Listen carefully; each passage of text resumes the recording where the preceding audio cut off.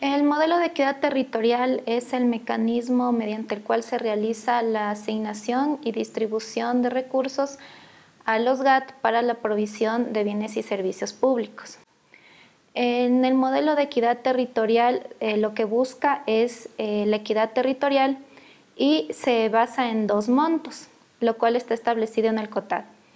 El monto A eh, permanece estático y es el monto que recibía el GAD hasta el año 2010, mientras el monto B depende de los ingresos del presupuesto general del Estado. Eh, aquí eh, interviene el 10% de ingresos no permanentes y el 21% de ingresos permanentes, los cuales se reparten a los GAD de los tres niveles de gobierno. Para hacer esta distribución se consideran los criterios establecidos en la Constitución. Estos criterios son demográficos como la población y densidad poblacional, también eh, criterios mm, socioeconómicos como la pobreza por necesidades básicas insatisfechas y criterios que dependen de la calidad y eficiencia en el GAD, como por ejemplo logros en el mejoramiento de la calidad de vida, también medida por, las necesidades básicas insatisfechas. también tienes el esfuerzo fiscal, el esfuerzo administrativo, y el cumplimiento de metas del Plan Local de Desarrollo y también del Plan Nacional de Desarrollo. Eh, estos eh, recursos se asignan de forma automática y oportuna a cada uno de los GAT en los tres niveles de gobierno. Cuando se realiza una transferencia de una nueva competencia a los GAT, esto implica que también esa transferencia lleva recursos.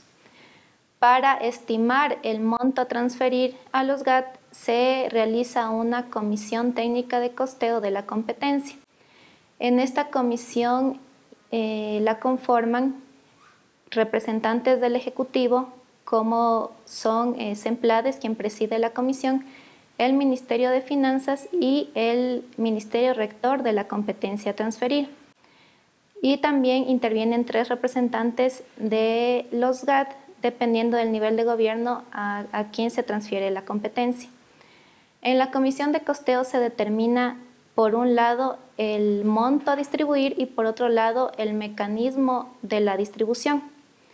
El monto a distribuir depende del informe del Ministerio de Finanzas eh, que determina cuáles son los recursos que se han destinado a la competencia, así como también el informe del Ministerio Rector.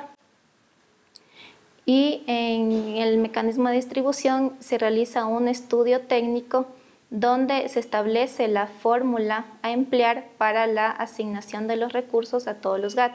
Esta fórmula guarda la misma base conceptual que el modelo de equidad territorial. De esta forma, las transferencias eh, se realizan con base a equidad a todos los, los GAT que reciben la competencia.